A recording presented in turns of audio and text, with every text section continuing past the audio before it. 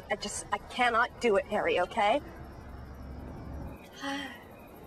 My name is Nancy Thurgood from Savannah. I couldn't help noticing those attractive globs of axle grease on front of your bib overalls.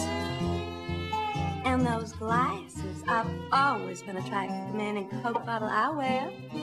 I was just wondering if you would like to escort a new girl in town to a county fair.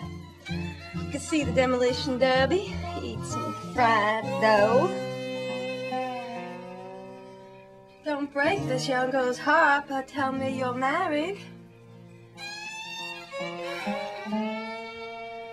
Well, land sakes alive.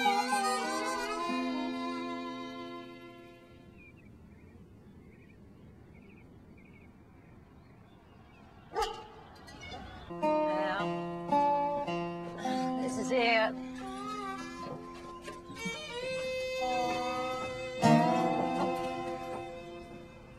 Gets nice light, and on this side it stays cool.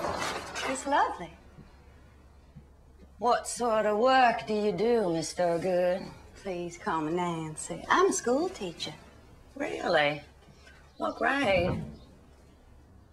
The, uh, little ones, uh, elementary children. I hope to begin teaching again by next term. Well, isn't that serendipitous?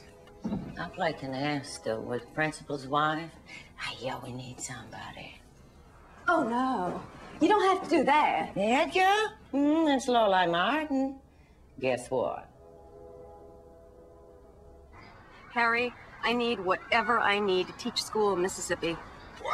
What? I know, a major tactical error on my part, but for six weeks I can pull it off. You need credentials from Mississippi. Yeah. No, wait, from Savannah. Where the hell's Savannah? Georgia. I need them from Georgia. Okay, let's see what we've got here. Uh, your degree looks fine, and this is your certificate. It's from Georgia, but uh, we have reciprocity with Georgia.